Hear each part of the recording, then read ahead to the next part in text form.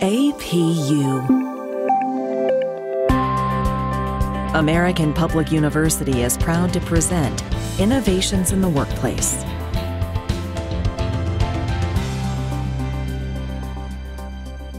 Welcome to the podcast. I'm your host, Wanda Curlee. Today, we will be chatting about humanoid robots using AI. My guest today is Dr. Oliver Hedgepeth, who is a professor at American Public University. He has many years of experience working with artificial intelligence. Oliver, welcome to the podcast and thank you for joining me. Thank you, Wanda. I, I really think this is a really exciting topic, especially today's time frame with how artificial intelligence and robotics has moved along, and and really this pandemic, this uh, in this year, is increasing a lot of interest in uh, humanoid AI robots. But thank you again for inviting me for this presentation and, and discussion. Great. I'm glad you're here. Um, I also think that humanoid robots are fascinating, but many of us think of it like the Terminator or, or the movie AI. Give us your thoughts about robots that use AI. well, robots that use AI have, have been used uh, a long time. Uh, the last, uh, I guess, 50, 50, years have been around mostly, but uh, they even go back to 1495. Leonardo da Vinci uh, put a suit of armor together, made it stand up and walk and sit down, and that's probably the first one that came around in 1495. Think about that. Robots being used today in, in many guises. They're being used in rest homes, nursing homes, for examples. I, I know people who were in nursing homes who my mother was one of those, by the way. Uh, she had some problems uh, with reality, and, and she kept saying the same thing over and over again. And it was a nice conversation, but it was about one topic. And it might be about ice cream.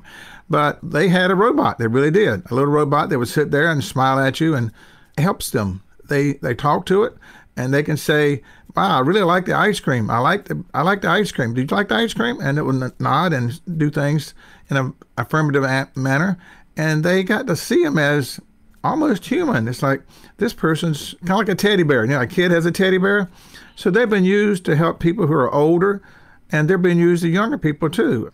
There's schools in Japan, for example, build little robots for first, second, third graders to substitute for teachers. Yeah, they're there, and they're increasing in, I guess, popularity and in and use for helping different ages of people. Uh, that's interesting, and we'll get into that topic a little later on. But could you, for our audience, so they understand what is the difference between a robot with AI and a mind mindless robot, for example? Well, the mindless robot's downstairs in my house. It's the robot that's cleaning my floor right now. It's running around. I had to close the door. It keeps bumping into things.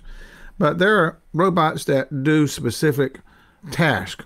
When we see television logistics systems or manufacturing systems, you'll see a car automotive uh, manufacturing company, and you'll see robots that are doing things. They're, I call them mindless. They have one specific task to do, and that's what they do, and they do it uh, well. In fact, a lot of times you'll see these robot arms that are welding or doing something. Some of them may be encased with a glass shield around it because if you get your hand near it, it will weld your hand. Okay, it's not. It doesn't really know whether you are a piece of metal that's going to, to a carburetor or whether it's your fingers, and so you got to be careful not to get near them. They're very valuable. They're very useful, and you will see them in commercials and logistics warehouses where they're moving boxes. Now they are a little bit. I wouldn't call them smarter, but if you step in front of them, they will stop. Uh, in fact, you'll see automobiles today, advertisements for your car. You'll be driving your car. You're in charge of the car. You're driving it. And all of a sudden, you're looking left and right or working on your cell phone or talking to somebody, and the car slams on brakes because you weren't looking at the car in front of you that stopped, and your little AI robotic system, uh, kind of mindless, but it, it's looking out for something in front of you. It will engage the braking system. So I was reading some articles about Sophia, the humanoid robot, and I'm sure you're aware of her, but she uses AI, and I've been kind of watching her progress through um, YouTube and saw what she was in 2016 and how she's progressed. I mean, she can crack jokes, she has some facial expressions. But what are your thoughts about the AI she's using, and should we be scared of it? There may be some people who are, are afraid of robots taking over their jobs. We've had movies made in the in our generation where robots have taken over society and and tried to be human, totally human. But I wouldn't worry worried about it. what uh, what she is. She's a humanoid robot. You know, she has facial expressions. Like I said, she cracks jokes. She carries on a conversation. She'll look at you in the eyes. You know, she'll hold conversations, look at your eyes. She actually recognizes faces and does all those things. I do believe the United Nations uh, even named her a citizen, you know, a global citizen, kind of a robot. And I do believe she has citizenship in Saudi Arabia. She has some very deep learning capabilities, what we really know. And in terms of learning capabilities, again, it's still data. It's amount of information that's put together for Sophia to be able to react and do a movement or do some kind of movement or make you feel good, smile at you. But it's like like a robot. Sophia's like a robot who learns to play chess or checkers the same kind of logic, the same kind of thinking, I've used the word thinking in quotes, is in Sophia as a chessboard, chess chess robot. And we've had robots that were trained that didn't know anything about chess or checkers, but they play it with a human, and all of a sudden they learn this move goes there and this move goes there. They know what winning and losing is in a in a pos, in a in a sense of a data like zero and one might be losing or winning and they understand and learn how to play chess and checkers. And today, AI robotic systems beat every human chess player there is. The most uh, advanced chess player, I think, was beat years ago by a robot, which was very exciting. But I see her as positive in terms of the perspective that people bring to seeing robots as not replacing you, but helping you. Sophia has a, a, goal, like I mentioned with my mom and some other older folks. Sophia would be great in a nursing home, you know, dealing with people, holding their hands, you know, walking down an aisle or just sitting there on a bench, enjoying the sunset and talking to them because Sophia doesn't get tired like humans do. Correct. So, Sophia has emotions, and you've talked about how emotions are good in maybe nursing homes and there also would have practical aspects for children who are going through medical needs. Do you see AI robots helping children that uh, have to go through some scary procedures? Oh, gosh, yes. Well, scary procedures and just in living. There are patients, there are young children, and they're very scared in the hospital. And we have great nurses and doctors who are really skilled at making children feel calm before they had a painful operation. But that's really important. It is painful. It's still painful. A robot system, kind of like a teddy bear that talks, a robot system that's sitting there and they know it's a robot, but they know it's something different. It's something special. It's it's uh it's more than human, and they like that more than human. Their their aspect is more than human, and so it would help calm them down, hold their hands while an operation is underway. That would be useful.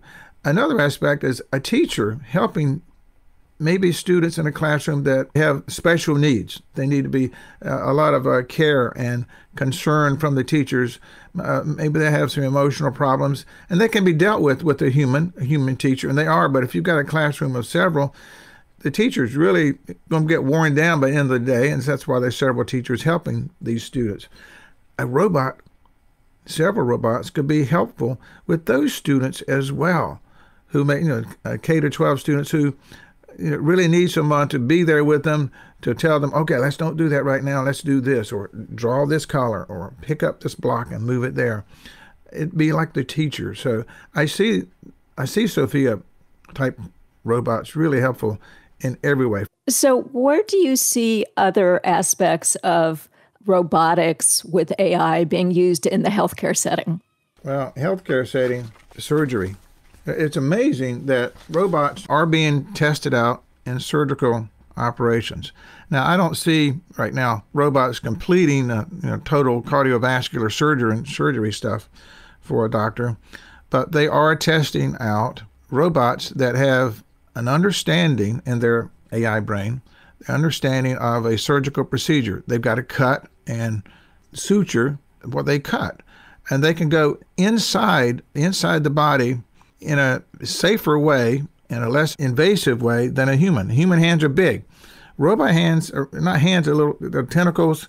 They can go inside a smaller hole, let's say, inside a human body, and maybe cut something, cut a piece of skin and sew it together, cut something out and replace it. They can do that, and there is evidence that the robotic systems that are helping doctors, medical doctors, perform surgeries, that the robotic systems will perform these duties and the scarring will be smaller, the amount of pain will be less, if not any at all, and the patient will be able to get out of the hospital a lot faster. Instead of staying five days or seven days, you may be out this afternoon. The facts are there. Their facts are there.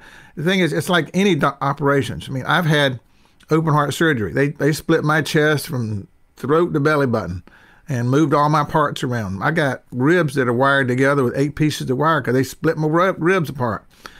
They don't do that anymore. That's old fashioned. Now the robot goes into a little hole. They have a robot arm goes into a little hole in the side and does the operation that's needed. And instead of me getting out in seven days and having complications, afterwards, these people are getting out and going about their life normally. It's just amazing. The robots are helping. Now, they're not replacing doctors. I don't think they will for a while, but I can see maybe beyond my lifetime, they might have total robotic surgery operations on maybe something on your foot. You know, you're not going to die from it if they do something wrong, something smaller, but it is being helpful in many ways in these surgeons. That's amazing, Oliver. Yes, there's many practical aspects for robots with AI, not only in surgery, but for other things. Let's move a little bit to nursing homes. We've talked about that.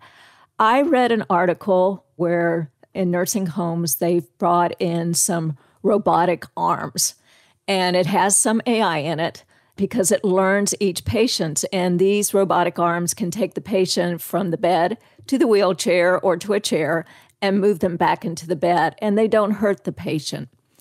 Uh, to me, this brings safety uh, to the staff and safety to the patient as well, uh, because let's face it, staff can get hurt when they're moving patients or th- they've had a bad day, so they roughhouse the patient for whatever reason. What are some other aspects that you might see that we could use them in nursing homes? Well, uh, very clearly, um, I have friends uh, in nursing homes. I, uh, I, I routinely I work for organization here that dials up and calls. I, I, once a week I'll call some people who are in a nursing home and chat with them. That's part of what we do in our state here, and I find that there are patients, patients, residents who who are they're sitting there and they're they're saying, you know, we usually get a glass of wine at four in the afternoon, but they don't come today. They they're coming late. Or I'd like someone to come and turn on my TV because I can't get up there. Or I keep pushing this button and no one's come for three hours to look at me or bring me that magazine that I know came. A robotic system can very easily replace these human factors, human human tasks, because the nurses there, oh my God, they are so wonderful. The nurses and the staff, they work hard on these patients and visitors, but a lot of times the amount of time spent on one person, not just to bring something to them, is demanding in terms of time. Uh, to give someone a bath, for example, takes it's not just 30 minutes. It may take an hour because of getting in and out of a wheelchair and other things like that. The robots can help with that, but there are these other little things that make a, a person living in the home feel better. I mean, if all of a sudden you push the button in your room and you're not le- you don't leave your room. There are people I talk to who don't leave their room. They're, they're in a bed or they're in a chair. They don't go outside, and they push a button because they want something. If all of a sudden little Sophia can come knocking on the door and say, "Hi, Virginia," what do you want? You know, and say, well, I'd, I'd like a glass of wine, you know, and say, I'll be right back. And they go down the hall and they get their glass of wine and they bring it back for their four o'clock wine. That would be absolutely great. Or it could be, I need help getting to the bathroom, Sophia. Can you wheel me over there? I'm in my wheelchair. And Sophia can push the wheelchair. The nursing staff can see what's going on or know what's going on these these robot systems would be so useful, and they are being useful.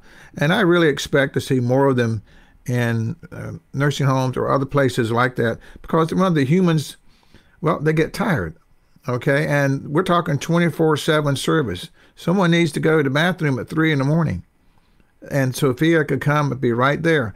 So I'd really see a lot of positive things happening with humanoid AI robotic systems in, in places like that. So, Oliver, let's switch gears a little bit. So, do you see the AI and Sophia or uh, follow ons to Sophia ever being practical for everyday life? I mean, will you and I use them in our homes or will it be in retail or other areas? Oh, gosh, yes. Driving cars is getting better these days. I, like I mentioned earlier, I am I'm amazed at robotic systems that are really in, in, encased in just normal cars. I don't mean autonomous cars, and autonomous vehicles, although they are there and they're increasing. We have 18 wheelers that are driving around the country today by themselves. Not many, but they're there. Uh, the drones are delivering packages in test cases. Uh, they can be robotic drones that know a little bit of robotic system that knows you can't deliver here because there's something in the way. It knows there's something in the way, so it won't land. It'll go back home to the logistics warehouse. But I do see more applications happening, and not just cleaning the floors. You may see something like Sophia in the home that will bring you something and bring you breakfast, or there to just sit with you. Again, at the older generations, or even the younger generation, may need someone just to babysit them. And I can see babysitting Sophia. You've got two kids, say you've got two kids, they're age eight and nine and you've got to run down to the store for 30 minutes. You may have a Sophia who's there with them, helping them color, look at TV, uh, play games, but they can, Sophia could be there babysitting and as security device as well. They know who's going to come. They know that you are the only one that's supposed to come through that front door, and then I'll go let anybody in. So I could see, you know, babysitters. Today, we are speaking to Dr. Oliver Hedgepeth about humanoid robots with AI. We will be back in just a minute. At American Public University, we believe quality education must be more affordable. That's why, as a leader in online higher education, we focus on minimizing costs and maximizing return on learner investment. And we believe higher education must be more accessible. So our online programs start every month. American Public University, within reach, without limits. Learn more at AmericanPublicU.com. Thank you for returning. Today we are talking to uh, Dr. Oliver Hedgepeth. He is talking to us about humanoid robots with AI. So, Oliver, we were talking about the practical sense of humanoid robots in our everyday life, but how about other industries? I could see it practical in manufacturing, as we've talked about a little bit, but how about things like logistics or reverse logistics? I know that's your area of expertise as well. Can you talk to us a little bit about humanoid robots and AI and logistics and reverse logistics? Logistics system is logistics and supply chain, moving moving packages, moving boxes is very big with robotic systems. All the sophisticated warehouses are using them. They really are. Walmart's using them uh, for example. In fact, Walmart's invested heavily in robotic systems to help not only move items uh, around the back of store, but also they have robotic systems that are going down the aisles checking on what's missing. Now, there's a funny story coming up on this one. Walmart has 500 stores right now in America that have robots that go down the aisles and check on okay, is the inventory there? Is the aisle empty? Are there you know, two boxes of something that should be you know, 10 boxes? the data is reported instantly in a database system so a manager, a human, can go replace it. Or a robot could replace it. Now, there's a funny thing happening here. In this pandemic, Walmart has people who are going and getting your groceries. A human will go down the aisle and pick all these things up, put it in a basket, and sure enough, at three o'clock, the person will come outside, will make a phone call, and they'll put it in the back of my Jeep, and we go home. By them doing that, Walmart found out that that human became an inventory tracking robot. Also, they've got an inventory robot that goes in and checks on what's missing. But the human who picks up your groceries for your online purchasing is doing the same inventory management. So Walmart's decided, I think we'll stop using robots for inventory management. We'll use them more for mopping the floor, cleaning up, and also in the back room and in the distribution centers. That's the big warehouses for Walmart. And that's where they have, you know, three or 4,000 people working, but they use robots to help move cargo that's heavy. They will move the heavy cargo and put it up on the top shelf and things. It's interesting to see that not all robots will keep their job, but it's in the logistics field. Humans and robots will continue working together. And Walmart's a good example to keep your eye on. Walmart has been very uh, progressive with robots, and it's interesting to see how they're changing by analyzing data where the robots should be used. Let's talk about laptop computers, uh, and let's just talk about computers when they came into the business area. I had some bosses that absolutely would not do anything with a computer. They'd have their secretary come in and turn it on for them, and then they would have their secretary print all their email. They never touched it during the day. Eventually, they accepted it because secretaries went away. Uh, do you see humanoid robots? Because um, let's face it, we have AI all around us. Will they be accepted quicker than you think than, let's say, desktop computers? That's a good question. Oh, my goodness. I would say uh, yes. Okay, quick answer. I think they may be more acceptable, but I put a big but there too, because I do remember when the first big computers came to town. I was at Fort Monroe, Virginia. I worked for the military, and we replaced typewriters, electric typewriters, with big computers, and they were huge computers, and taught the uh, secretaries to type on them and print papers out for us, and that was kind of cool. And after they had their training class and they started using them, they brought back up their typewriters and they put flowers on the tops of those computers.